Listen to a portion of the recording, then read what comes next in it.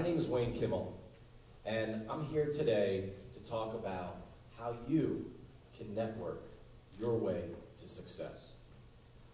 I was born April 30th, 1970 in Wilmington, Delaware. Now, when I talk about Delaware, most people look at me and say, where is that place? Never even been there. I've driven through it maybe. Is it a small state or is it a county of Pennsylvania or something? Most people don't, don't, don't know that, but I, that's, that's where I was born.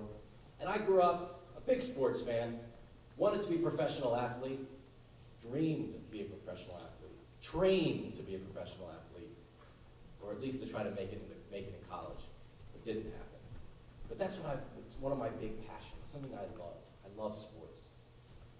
I go to college and went to the University of Maryland, and I got this, what I would call my portable computer. It was a Mac Classic.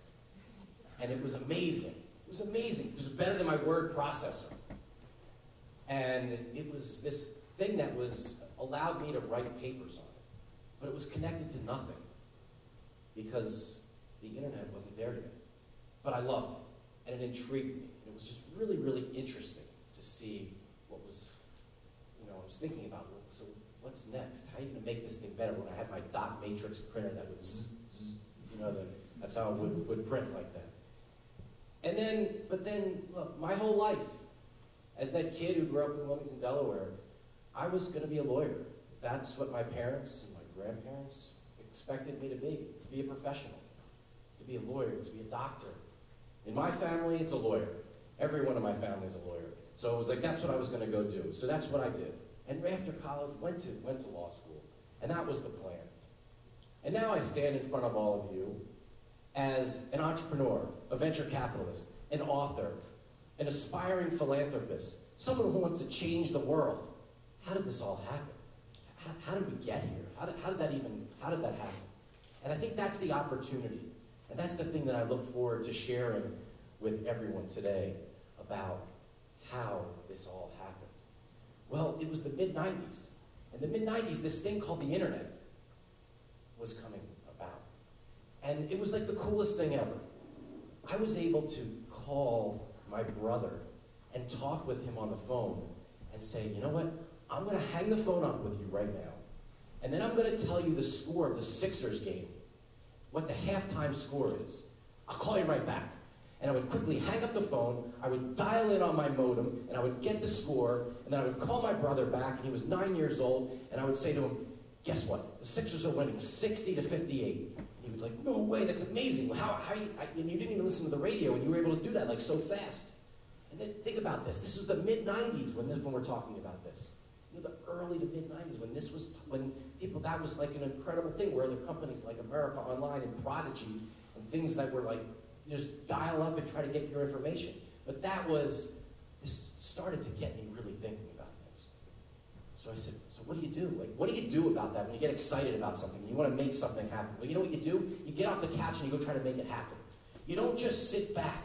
When I, when I work with entrepreneurs, I hear them talk to me about their ideas and their companies and they're working in the lab and they're, don't tell anybody about their secret project. But I say, you know what, you got to go out there. You got to talk to people about it. You got to try to go make it happen. You got to see if it actually will work. And that's what you got to do. You got to go take that shot. You got to take a shot because if you don't take a shot, you never make basket.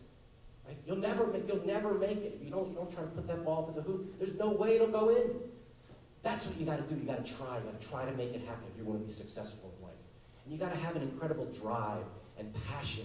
But that's the normal stuff. That's the stuff that every teacher every professor, anyone who ever talked about, though it's in the books, drive, passion is really, that's, that's what you gotta have. But something deeper than that. You gotta love it. Like you gotta love what you do.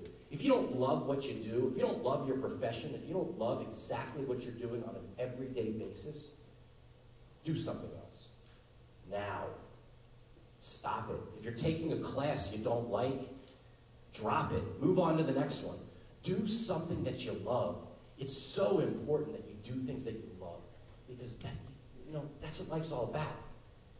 And one of the things that really has helped me in my business and what we look for in the kind of entrepreneurs that we invest in, it's all about finding people that are smart. And that's the easy part. And that's what you, of course people have to be smart, but there's a really critical piece. It's also about being nice and being able to help other people. And it's important to think about that. And I truly also want to make sure that people that I work with truly want to change the world. And one of the things that's truly inspired me throughout my whole career and all the things that I've done and all the, all the kinds of entrepreneurs and people that I like to invest in and get an opportunity to work with is that this video, this video that I want to play right now is something that has inspired me and every single time I watch it gets me very, very excited. Here's for the crazy ones.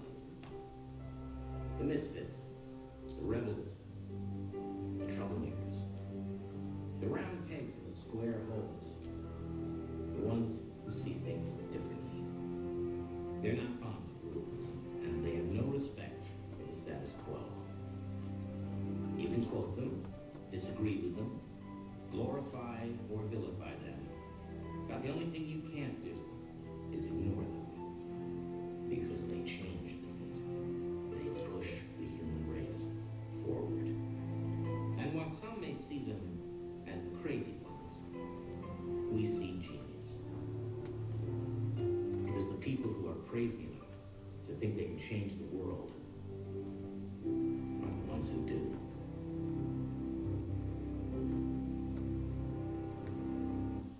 this is the commercial that Steve Jobs played when he came back as the CEO of his company that he was fired. He was fired by his board at Apple, and then he was brought back, and he started this campaign. And this campaign, and what, talk, what he talks about is, is at the very, very end of this, of this, is that he says, while some of them see them as the crazy ones, we see genius. Because the people who are crazy enough to think they can change the world are the ones that do.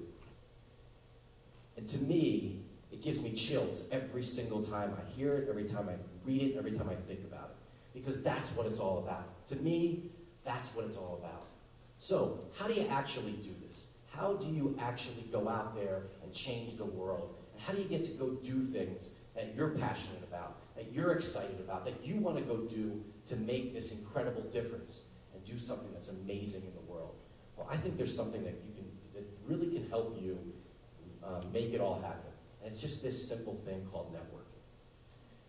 Networking is something that most people say, okay, you got to go out and network. Well, what does that really mean? Right? What does that all mean? What is networking, right? Well, networking to me is going out there and trying to get as collect as many contacts as you can as possible, and trying to turn them into true relationships. But how do you make contacts? Where do you go?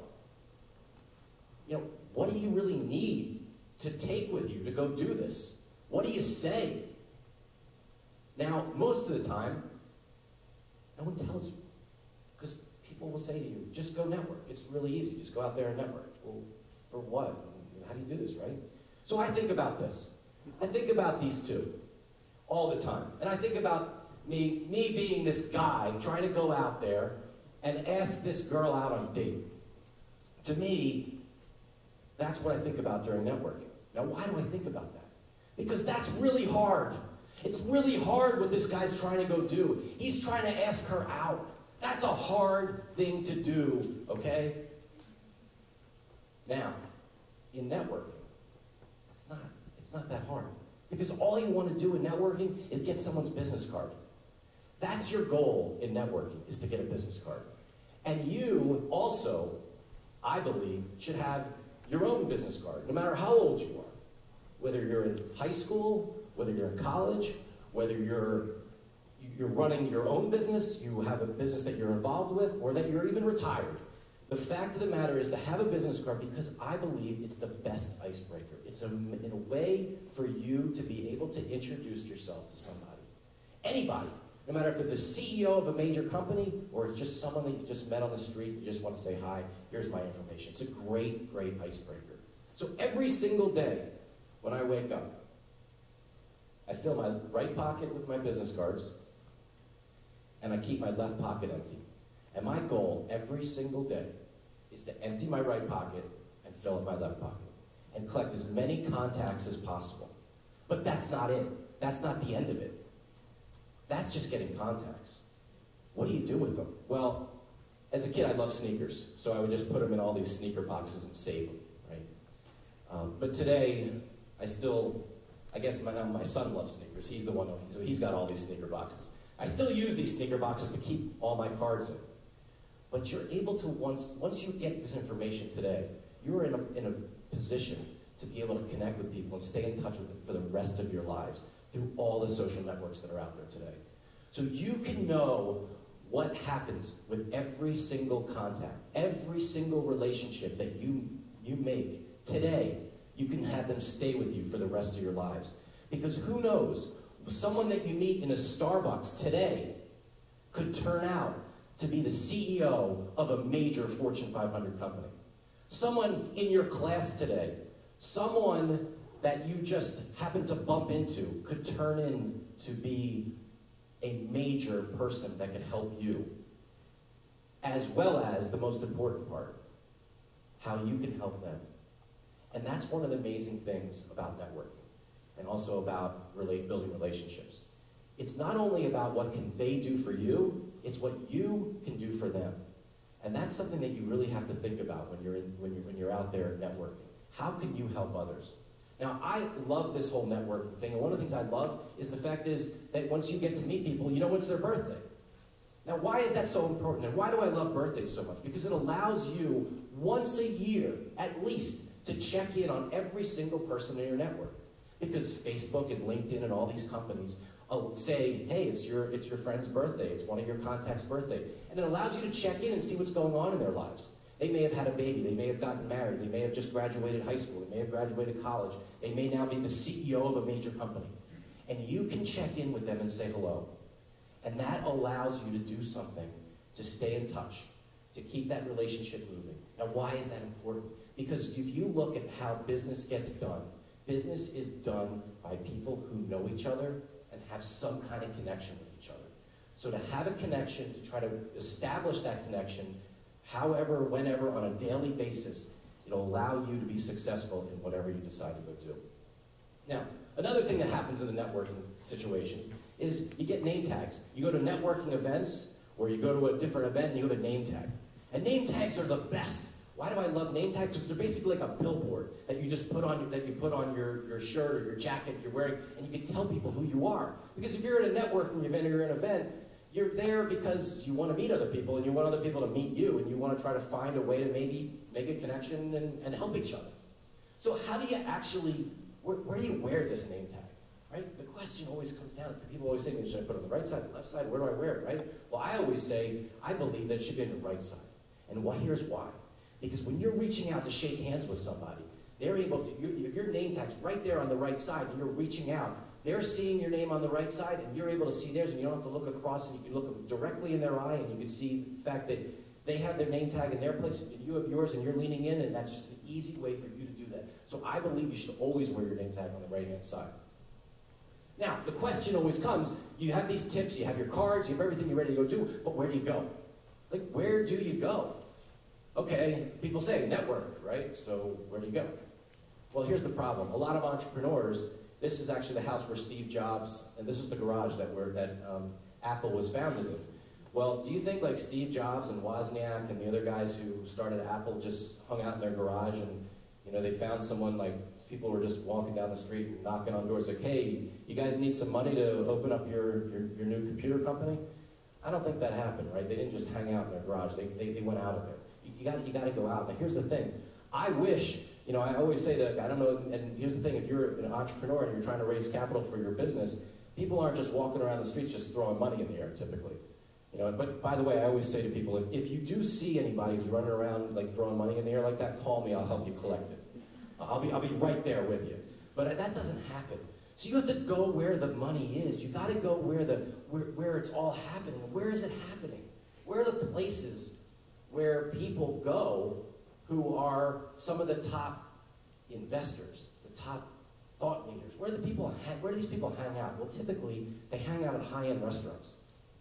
Now, they hang out at high-end restaurants or high-end hotels Because why? Why do they go to these places? And why are these places places to go? Because almost every single morning between 7:15 a.m. and 9 a.m., the top CEOs, the top thinkers in the world have breakfast meetings at these five-star hotels and restaurants. So why don't you want to go there? Because you want to meet these people, right? Don't you want to meet them? You want to meet them. You want to meet the top people in the world. This is where they hang out. So let's go there. So what I would do, I would go to these places. And I would go there with my right pocket filled, filled with business cards, my left pocket empty. My whole goal was to empty that right pocket and try to meet every single person who was walking in that door. Because I knew that the people in there were the kind of people who were making, making it happen. Why? Because who else can afford an $18 omelet? Unless you're a major CEO or unless you have a lot of money.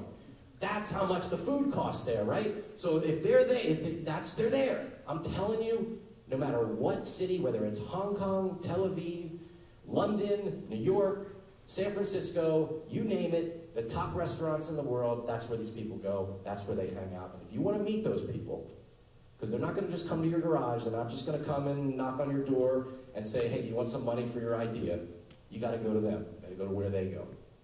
So before we, before we finish, I think one of the most important things in being successful, in being an entrepreneur, and being someone who wants to really change the world, you have to think about helping others and giving back. It's all about helping other people. If you help others, it will certainly come back.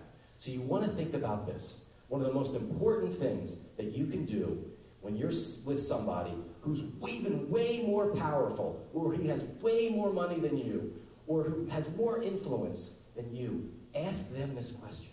How can I help you? How can I help you? You could be with the CEO of the top company in the world, and I bet if you really think and sit back and think and say, because here's the thing, that CEO, every single day, someone walks into her office and says, give me something, give me something, I want something, I want something. Everyone wants something from them. But if you can go in there and say, how can I help you? What can I give you? How can I help your life? How can I help your family? How can I make it better? Make your life better? It changes the whole conversation. And all of a sudden, it, it just, it, it, it changes everything. Think about that. I think it's a really big thing. Now I'm going to leave you with one last top secret tip that I think will help you be successful in life. And it's a really, really simple thing, but it's something that most people don't do. It will surprise you that in business, most people don't say please and thank you. By saying thank you and sending people thank you notes, when people give you, when you're, when you're armed with your business card, you got to put it out there and then you get one back, send them a quick email saying thank you. Thank you for your card. And I want to thank you for all your time. And I think you got to go out there and just go make it happen. And you, once you do that, you'll be successful and you'll go make it happen and you'll be successful in life. Thank you very much.